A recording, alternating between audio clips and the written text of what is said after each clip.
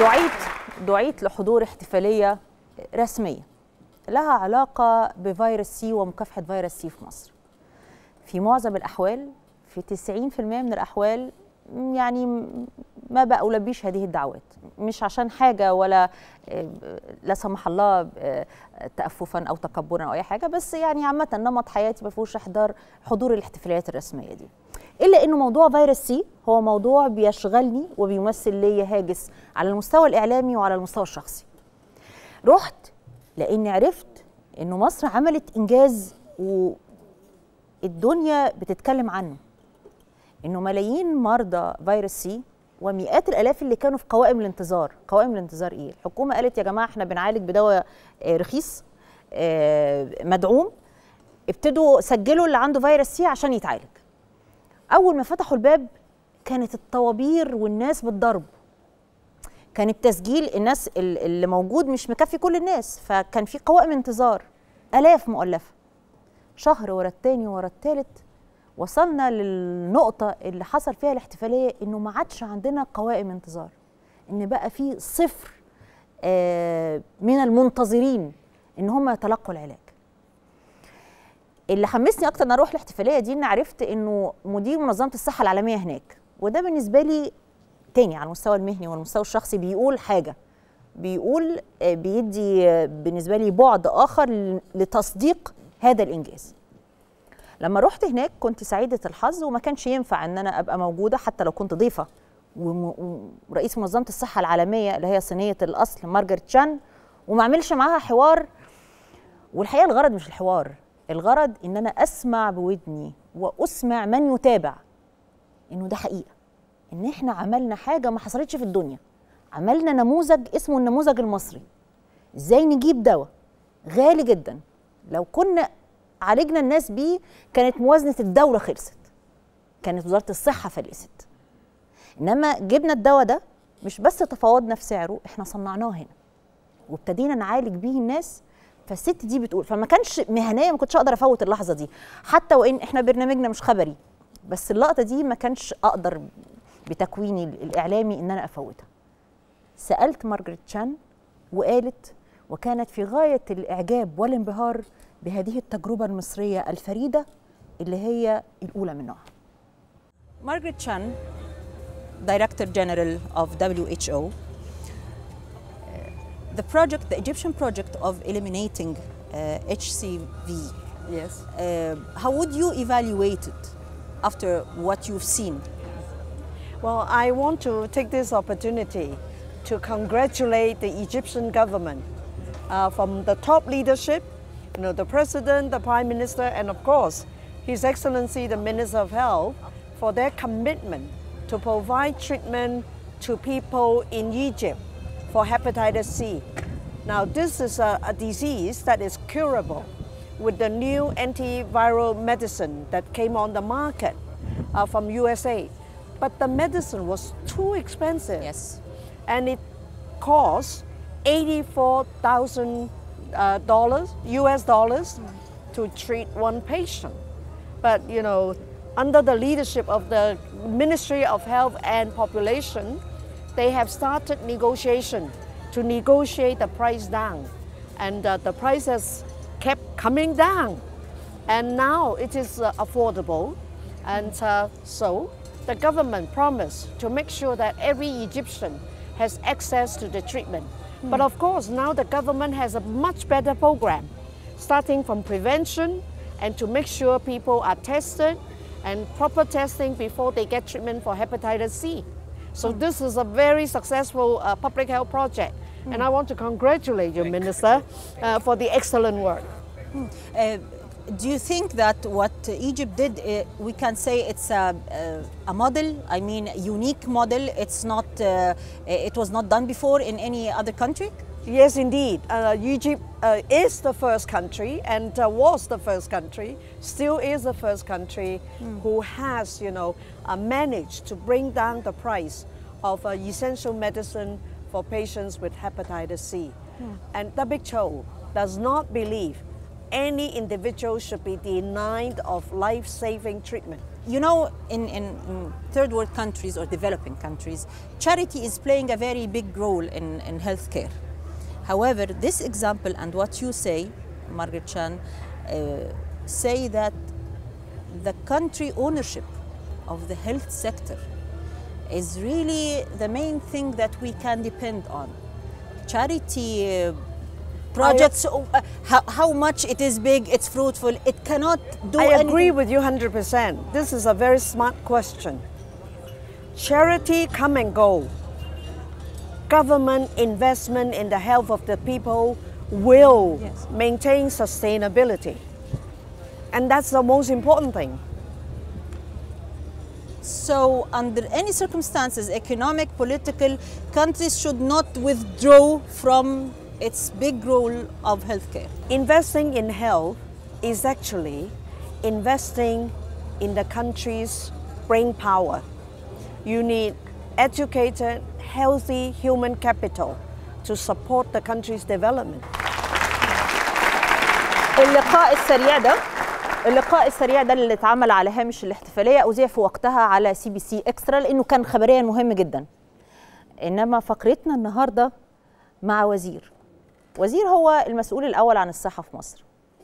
وإنه كان آه، على رأس منظومة الصحة لما قدرنا نحقق الإنجاز ده. هو طبعا مشروع في ناس كتير اشتغلت عليه بس هو وجوده اللي كان فيه تكليل لانتهاء المشروع ده. اللي محدش يعرفه إنه الوزير ده اللي احتفى بانتهاء المشروع ده والدته توفاها الله بسبب فيروس سي. يعني وزير الصحة اللي اهتم بالمشروع ده وأعلن عن انتهاء قوائم العلاج هو شخصيا آه، كان أحد ضحايا إنه أعز إنسان عنده والدته توفي بسبب فيروس سي. خليني أرحب وأبارك وأستقبل وزير الصحة المصري دكتور أحمد عمادي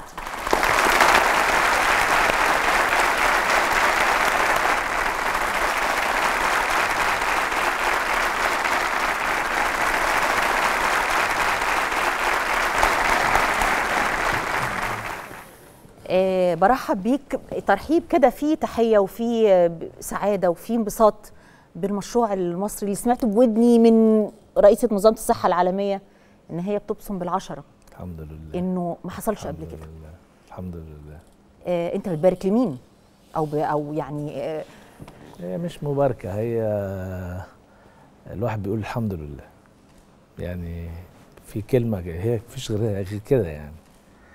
الحمد لله إن إحنا وصلنا للي إحنا فيه. الحمد لله إن ربنا يسر لنا إن إحنا نصل لهذا اليوم. الحقيقة أنا ما كنتش بحلم إن أنا أوصل اليوم ده بالسرعة دي خالص يعني. نهائي يعني. يعني خليني أقول الحقيقة أنا ما كلفت بمهمة ال- أنا جراح عظام. أنا أستاذ جراحة عظام. آه، معنى إن أنا أستاذ جراحة عظام يعني إحنا عندنا الطب بينقسم إلى قسمين.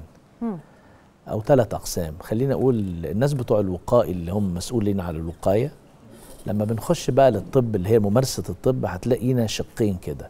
شق مسؤول عن العلاج زي بتوع البطنة والأطفال. والشق الجراحين. هتلاقي إن الجراحين دول بعاد تماما عن الشق العلاجي يعني. موضوع مخنا- الصحة العامة ده مش آه. آه. مخنا كله جراحة يعني. مم. وأنا جراح عظام يعني. عايز أقول اللي هي أقصى درجات الجراحة. فلما دخلت لوزارة الصحة وبديت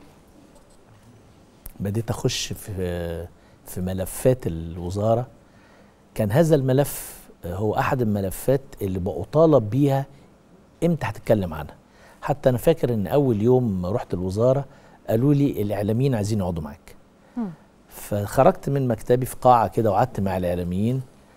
خليني أقول إن أنا كنت مخضوض. هم قالوا ده مش عايز يتكلم لكن أنا كنت مخضوض. لا هو عامة الجراحين ما بياخدوش وبيدوا قوي في الكلام يعني وبيطلعوا من العمليات ما بيردوش على حد أصلا.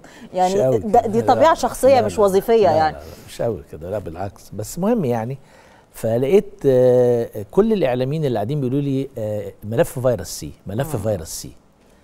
آه، قلت لهم بس أدرسه الأول يعني. بديت بقى أخش في هذا الملف وأشوف إيه القصة وإيه الحكاية.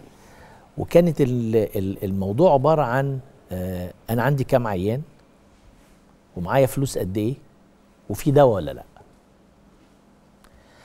عندي كام عيان آه، كانوا كتير قوي اللي موجودين أنا ذاك الكلام ده أنا بتكلم على سبتمبر 2015 الإحصائيات لحد 2014 كانت بتقول آه إنه مصر هي الأعلى نسبة في العالم كله إصابة بمرض فيروس سي.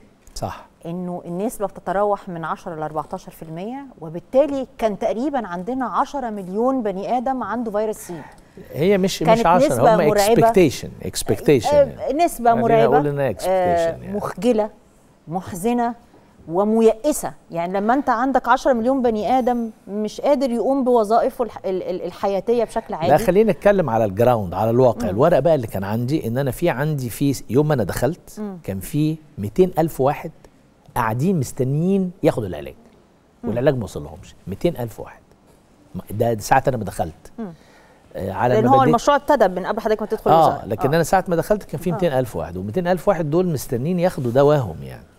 وعايزين الدواء والدواء ده عايز فلوس وعايز منظومة آه، تسرع من عملية وصول الدواء. يعني هو آه، العيان ده بيبقى أنا هقول عيان بسيط جدا من المنيا. آه، عيان أبسط مما يتخيل أي إنسان. بيطالب إن هو يروح لوحده فيروس سي. كل الشبان الصغيرين دول بيعرفوا يخشوا على الكمبيوتر طبعا. الراجل ده ما يعرفش يخش على الكمبيوتر. المفروض إنه يروح للوحدة ويدخل اسمه وبعدين لما يدخل اسمه آه، يعملوا له يعني ابلود ويوصل. حكاية طب ده ماله ده ومال الكلام ده؟ يعرفها إزاي؟ وإزاي هنعالجه؟ وإزاي هنوصل له بسرعة العلاج؟ فلما بديت أتحرك بره الوزارة أنا فاكر أول زيارة ليا طلعت فيها أسوان. أول خروجة ليا بره الوزارة كانت لأسوان.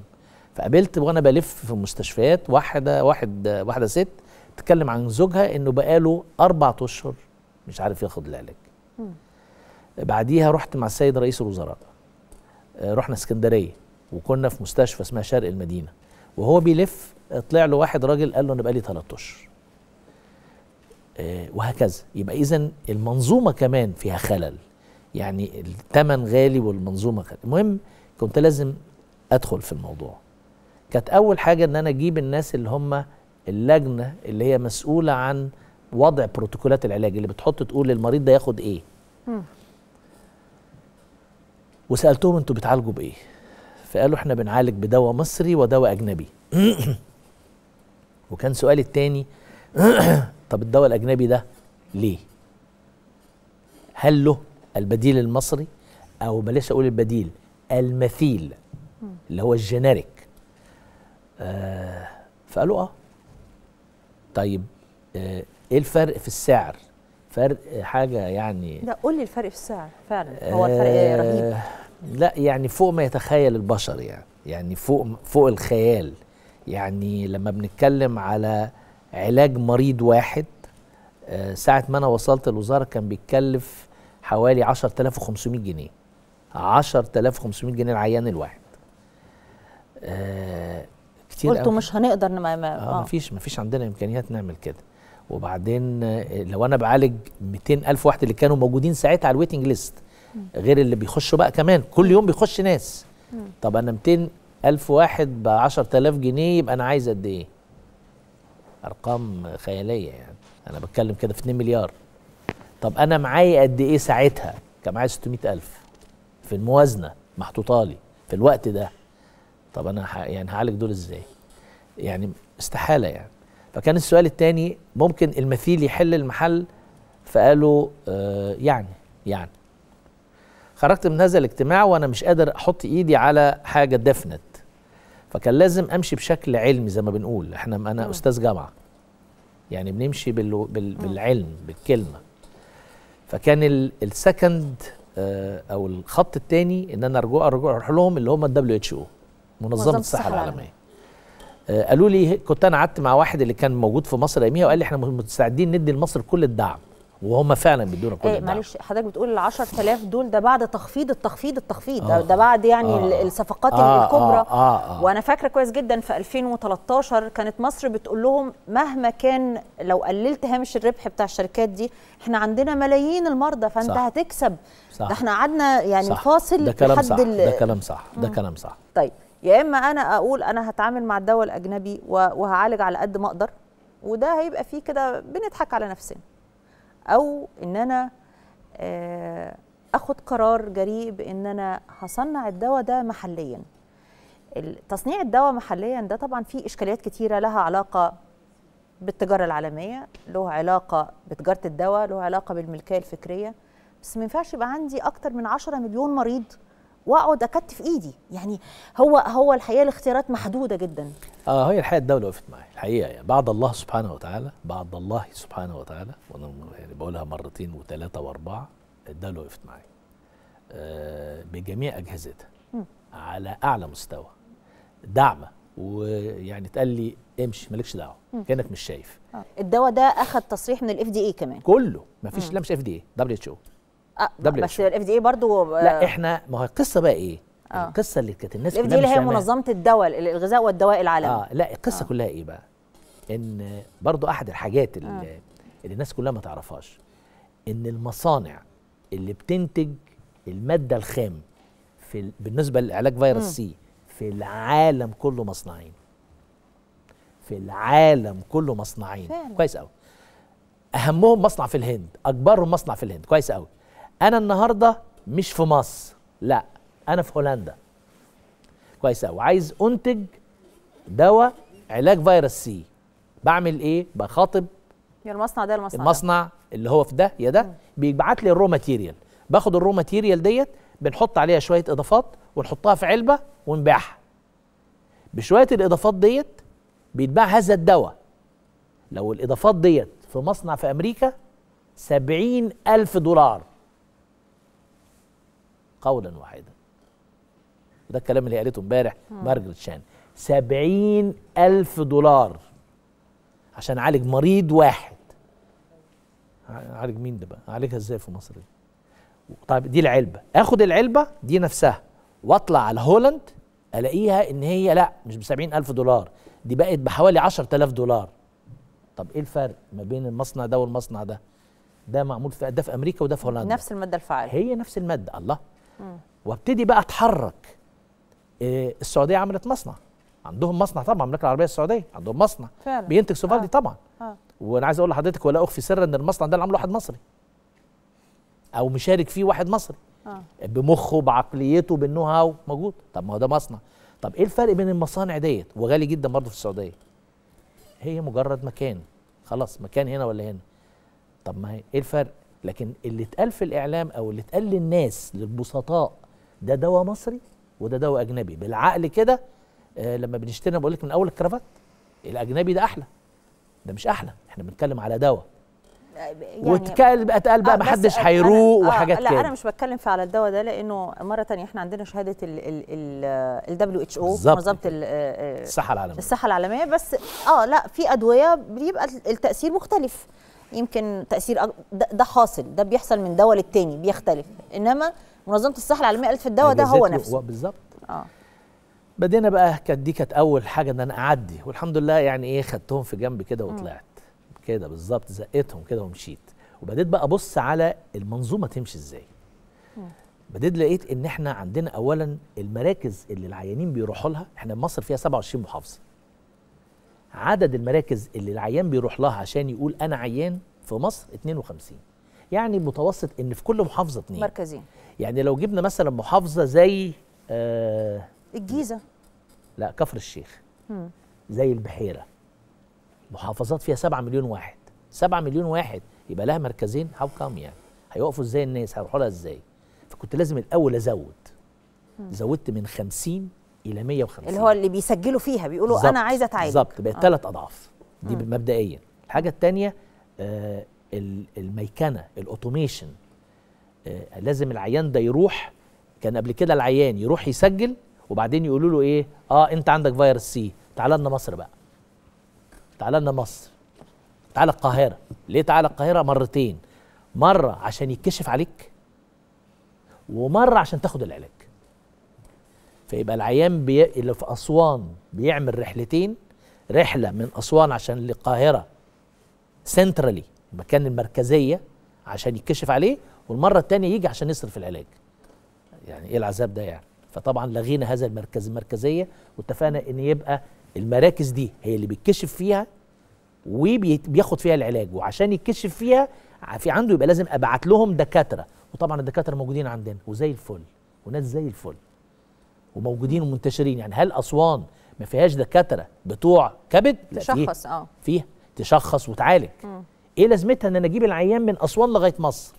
ليه المركزية ديت فبقينا لا مركزية وعملية complete automation بحيث إن العيان يقدم ويقول أنا عندي فيروس سي ويتعمل له التحليل وياخد علاجه maximum 3 weeks ثلاث أسابيع. ثلاث أسابيع. بدل ثلاث أشهر. maximum وفي ناس في أسبوع وفي ناس في أقل من أسبوع. لكن بنقول maximum 3 weeks وهو قاعد في بلده من غير بهدلة ومن غير إهانة. دي كانت تاني حاجة.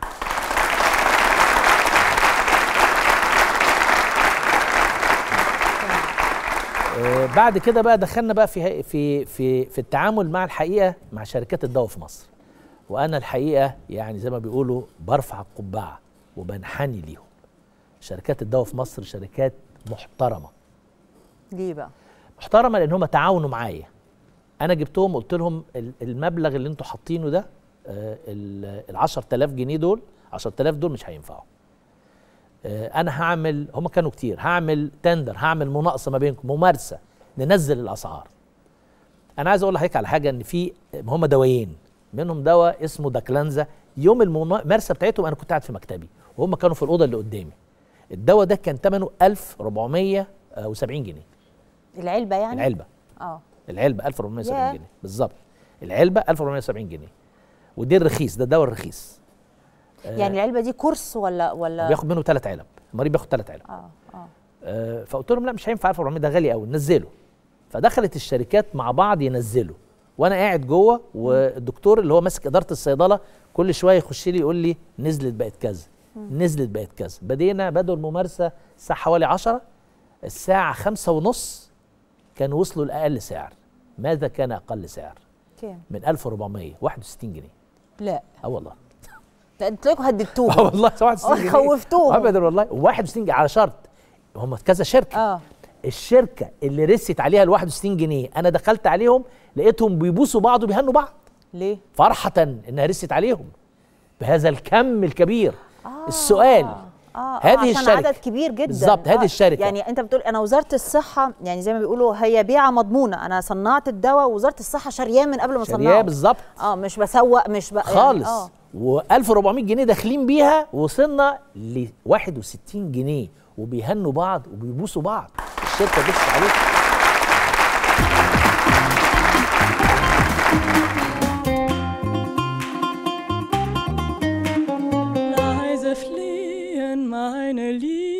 اللي خلاك عرفت الحكاية. طبعا إحنا مش فاهمين ولا كلمة. بعدي على أمي كل يوم ثلاث مرات. ومراتك ما كانش متضايق الناس اللي عندهم فيروس سي محدش بيعرفهم مهما كان.